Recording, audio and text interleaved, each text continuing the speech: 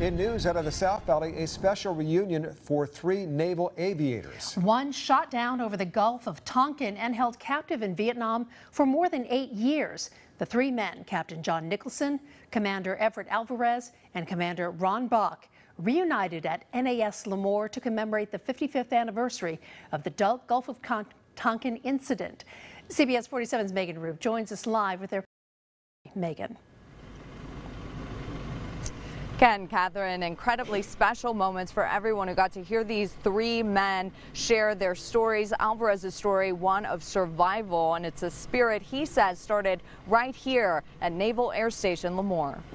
A story of captivity told by Commander Everett Alvarez after his aircraft was shot August 4th, 1964. When I came around, they were, uh, there was a lot more anti-aircraft than we knew existed there and the whole sky opened up with uh, black flak and tracers coming at me. Reuniting Tuesday with Captain John Nicholson and Commander Ron Bock, 55 years ago, stationed together here at NAS Lemoore. Do you do you remember? Yeah, the three of us were going up to man aircraft that night. On deployment before a flight over the Gulf of Tonkin, the captain and his wingmen snapping this photo. The next day, Commander Everett Alvarez would be shot down over the Gulf. He was forced to eject sideways. Nicholson's last words, you know what to do.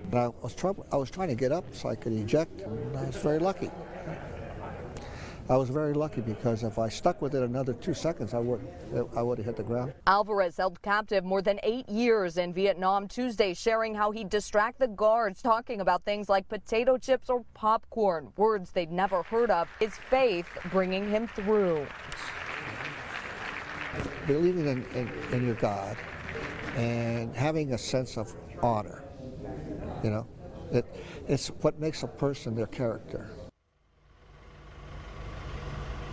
And Alvarez also wrote a book about his experience. It's called The Chained Eagle. He wrote that in the late 80s. All of the men today also received a state assembly resolution from Assemblyman Rudy Salas. Reporting live in Lemoore tonight, Megan Roop, CBS 47 Eyewitness News.